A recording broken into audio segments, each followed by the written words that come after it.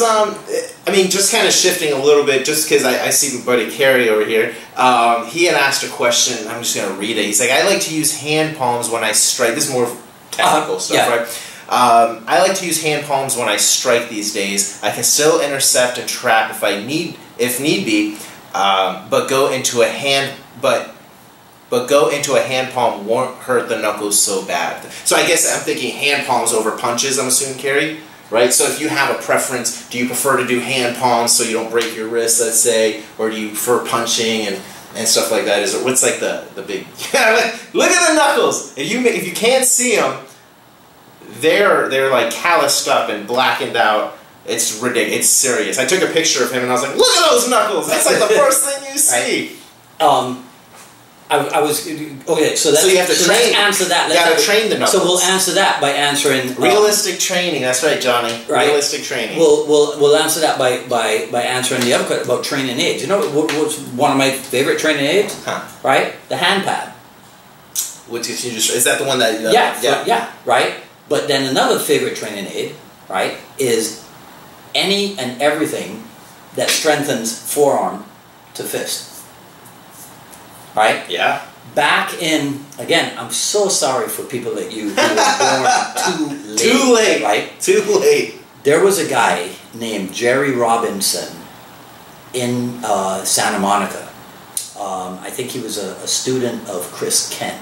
Okay. Right? We should talk about my heroes. Yeah. Like Chris Kent and yeah. Cass Magda and Ted Lucaylucay. Oh yeah. You know. Yeah. But then we'd be here all day. That would be podcasting too. Right. But uh, yeah, Jerry Robinson had an outfit called uh, Health for Life, I think, hmm. and he had a lot of a lot of um, non-mainstream uh, programs. He had Secrets of Advanced Bodybuilders. Right. He had um, something abs, uh, extreme abs. I, I, I, don't remember, but um, I know that one of Chris Kent's earliest video effort was produced, I think, by, by Jerry Robinson. Oh, cool. I think, I think it's a series called um, Dynamic Jeet Kune Do, I think, right?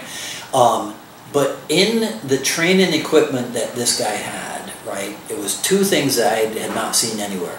There was there was this this metal thing that you would put the um, the rubber weight on it, so mm -hmm. you could mm-hmm. put the different the different uh, plates on right. it, and then it was a forearm trainer. Oh, interesting. Right uh, and he also had he had a, a, complete training manual for forearms. That's awesome, right? Yeah. yeah, he had a complete training manual for forearms. So there was that plus. Um, that was dynamic Jeet Kune Do. no, no, no, no. This is the, this Gary Robinson. Yeah, he produced gotcha. he produced dynamic Jeet Kune Do. I think for Chris Kent. Gotcha. But Health for Life in his rock. So so there was there was stuff about hanging hanging like this, right? With with the straight bar, right? right? And curling like this, and then you superset that with something like this, and then you superset that with the wrist turner like this, right? And then you hold it back like this, and you go like that, right? Bruce Lee had the oh, grip that's right, thing, the grip right? one, yeah, yeah. He, he, he didn't produce anything like that, but um, but that's how that's how I trained forearms for for years. But my favorite exercise for training forearms is when you take, you know what the EZ curl bar is? Yes. Right? Yep. You take that and you invert the grip. Uh-huh. Right? And then, see? Ah. You do, your, you do your bicep curl this way. Interesting, yeah. I right. hadn't thought of that. I was just using that with Romario. I think Romario's in here too. Yeah. Yeah. Yeah. That so so so anything anything that, that keeps um, that keeps the fist right and the forearm in good shape yeah. right, is a, is a favorite training area yeah. of, of mine.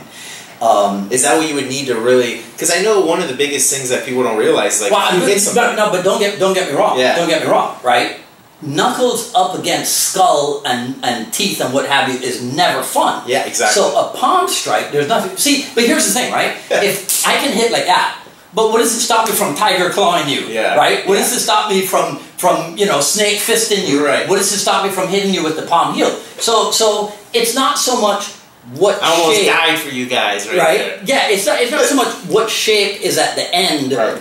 of this, right? It's whether or not it's accurate and powerful. Yeah. Right. right, and right. thrown at the right time from the proper distance. You see, because You, you, you, you know that the when we talk, we, we talk about there, there's a, a Bruce Lee quote I'm gonna do a hatchet job on, but it's um, it, it's words to the effect that Jeet Kune Do is not so much a matter of petty technique, Mhm. right? It's more about the training of attributes. You see, so technique is a means to an end Right. not an end in itself. You see? Mm. Because you don't know when the technique, but you train it. But you know, it's it's like here, here here's how I explain it to people. Michael Jordan is considered probably still the greatest Yes. basketball player, right? And Some I think, controversy about it. but- Yeah, right. Pretty much. and I think that he was a, a, a small point guard or whatever it is position that he played. But Michael Jordan's responsibilities as a guard in the NBA were the same responsibilities as any other Right. guard in the NBA. Right? Yes. And then what do you do in basketball? You run, dribble, shoot, Shoot. pass. Right. That's pretty much it, right? Yeah. So why is Michael Jordan a standout? Training Attributes. attributes. You see? Yes. control over distance, ability to defy gravity, hmm right? You know, speed, uh, what elusiveness, whatever. It's attributes. So you train the techniques in order to develop the attributes, Yeah. right? You're not training the technique in order to to develop the technique itself. That's a byproduct. Right. Skill in the technique. So would you say attribute training is something that you should focus on and by Of course. have the But yeah, technique yeah. Why train Muay Thai? Attributes. So what's What the hell gets you in Right. better shape Right. than just double? And you you know you don't have to be sophisticated in it. You know, Right, right. Just hit just the hit the pads? Five three minute rounds of double kick three times a week. That's rough. You'll be shredded. Yeah. Right. 100%. You'll be shredded. So just for some of the people who may have questions about what's the difference between like attribute training, what is attribute training? I mean, So Just an attribute, right? An attribute is a quality which allows the skillful execution of the technique. That's my definition of an attribute. that's a great smash the like button if you thought that was a great definition. right? Attribute is a quality that allows the skillful execution of a technique.